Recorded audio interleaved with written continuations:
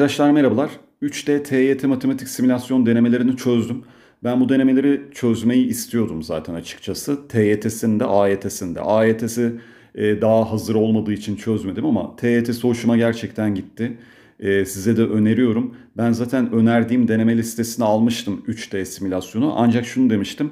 Seviyesi biraz daha böyle orta düzey olan öğrencilerimiz. Böyle daha şu an 30 netlere gelememiş. 20 netleri zorlayan ancak öğrenciler biraz daha kolay orta denemeler çözsün.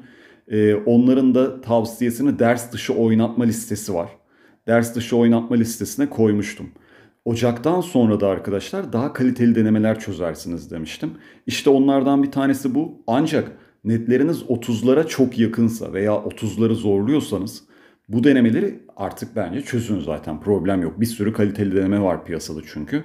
Ve burada ben şunu söylemek istiyorum arkadaşlar. Ben kanalda konu anlatımı yapıyorum. Soru çözüyorum.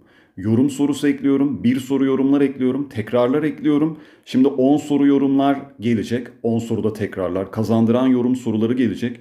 Bir de üzerine deneme bence bir hocanın bakış açısını anlamak adına çok önemli. Bir de ben yıllardır soruları incelediğim için hakikaten sınav odaklı çalıştırdığım için öğrencileri biraz da böyle artık sınav sorularına vakıf olduğumdan dolayı hep mantığım ÖSYM nasıl yapar? ÖSYM'nin soruları farklı çıksa bile neleri düşünmeliyiz üzerine düşündüğüm için gerçekten bu deneme de çözmem size çok ciddi katkı sağlayacaktır.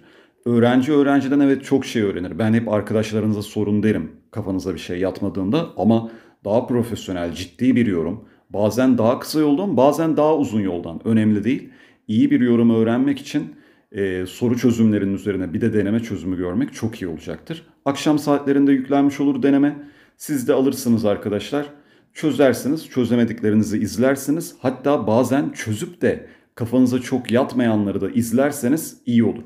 Soru çözümlerini abartılı böyle 5 dakika 6 dakika falan yapmamaya çalıştım. Ama gerekli sorularda da e, uzunluğuna dikkat etmeden güzelce anlattım arkadaşlar.